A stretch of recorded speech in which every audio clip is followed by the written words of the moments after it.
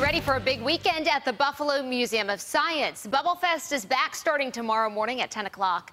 News 4's Katie Alexander is there for us this morning, having a ton of fun, giving us a preview. Katie, looks amazing.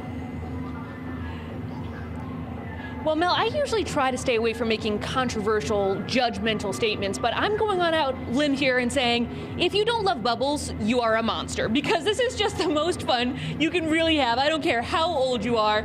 Uh, this is Marisa Wigglesworth. She is the CEO of the Buffalo Society of Natural Sciences. What's happening here this weekend? This is Bubble Fest on Saturday here at the Buffalo Museum of Science. So it's a full day of bubble-related activities all over the museum all day long. And of course, we're trying to deadpan it in here right now with the bubbles falling all around us. What is this room? This is our, our bubble disco dance room here on the first floor of the museum. Why do something like this?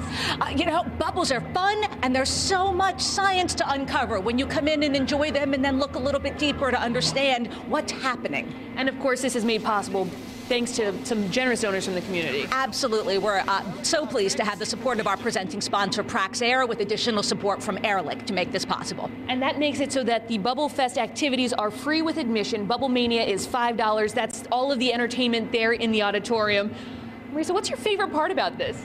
Uh, well, bubbles fundamentally, right? Who doesn't love bubbles? Fundamentally? Oh, fundamentally. uh, and of course, one of my favorite things is popping the bubbles and dancing in the bubbles. So I think we'll just end this one by dancing you out and telling you 10 to 4 tomorrow. Go to our website, WIVB.com, and you can get all of the information. For now, reporting live, Katie Alexander, News 4.